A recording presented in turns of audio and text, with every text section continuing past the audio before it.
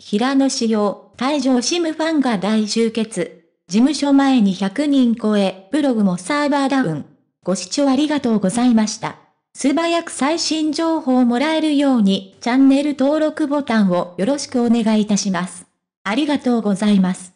5月22日に5人での活動を終えたキングピス。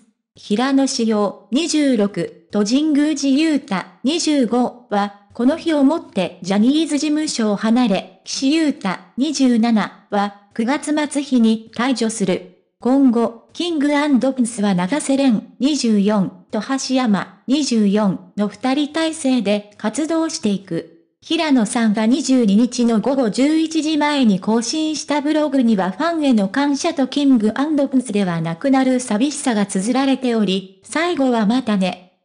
ティアラ、簡単ふ、という言葉で締められていました芸能関係者。ブロックで別れを惜しんでいた平野。ファンも同じ気持ちだったようだ。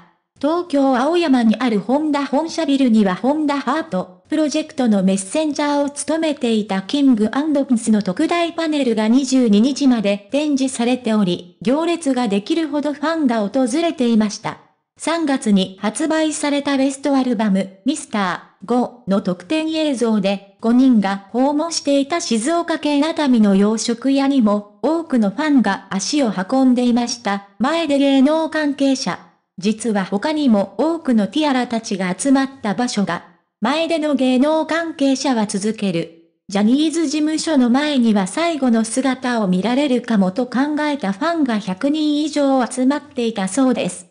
また平野さんがブログの更新した後には、サイトへのアクセスが殺到し、一時サーバーがダウンしていました。SNS 上にも、平野の退場悲しむ声が多数上がった。金プリ、いや平野仕様ロスかもしれない。心が寂しい1日です。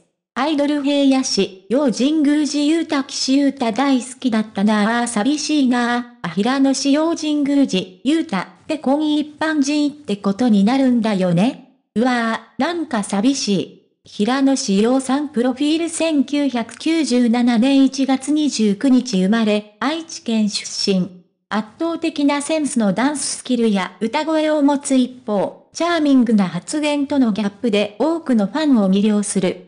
ご視聴ありがとうございました。これからも一緒に応援していきましょうね。チャンネル登録をよろしくお願いいたします。